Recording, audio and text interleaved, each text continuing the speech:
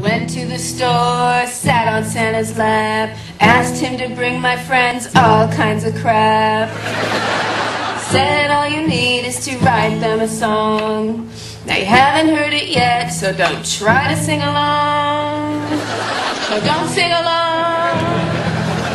Monica, Monica, have a happy Hanukkah. Claus, he said hello to Ross. And please tell Joey Christmas will